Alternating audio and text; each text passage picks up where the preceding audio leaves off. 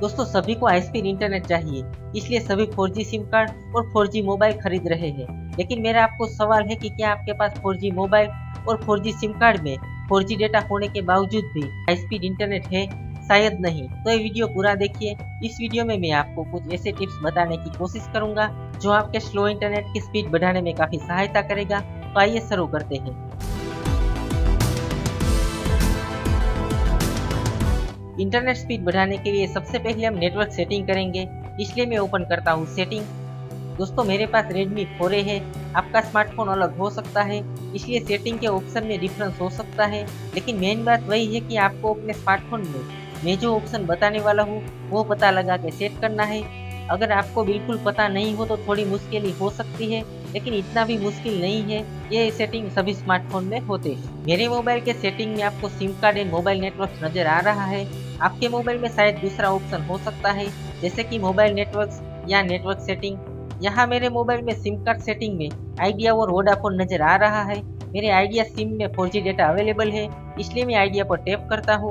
यहाँ में दिखाई दे रहा है प्रेफर्ड नेटवर्क टाइप उस पर हम टैप करेंगे। देखिए, मेरे मोबाइल में 3G नेटवर्क सिलेक्टेड है, इसलिए अगर आपके फ़ोन में भी 3G या 2G नेटवर्क सिलेक्टेड होगा तो 4G मोबाइल सिम कार्ड और 4G डेटा अवेलेबल होने के बावजूद भी 4G स्पीड नहीं मिलेगी। आपको यहाँ सिलेक्ट करना होगा प्रेफर एल टी का मतलब होता है 4G तो आपके ऑप्शन में शायद प्रेफर 4G भी ऑप्शन हो सकता है।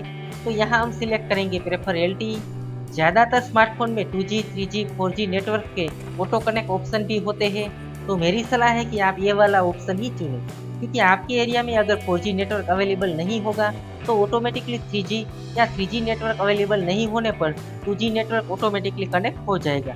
फिर से 4G नेटवर्क उपलब्ध होने पर ऑटोमेटिकली 4G नेटवर्क कनेक्ट हो जाएगा।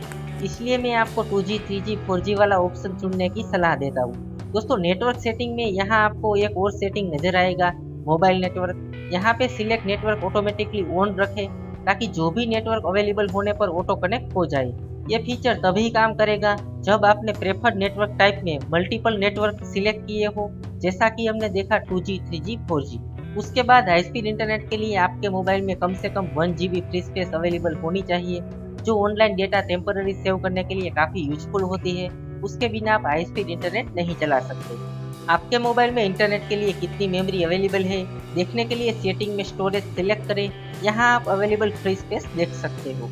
और लास्ट में मैं आपको बताने जा रहा हूँ, जो मैंने खुद नोटिस किया है।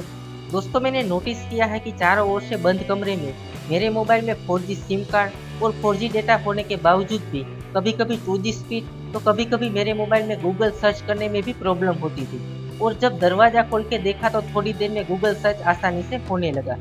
तो दोस्तों, मेरे हिसाब से अगर आप बंद कमरे में 4G इंटरनेट स्पीड की आशा कर रहे हैं तो शायद आपको इतनी स्पीड नहीं मिल पाएगी जितनी आप चाहते हैं।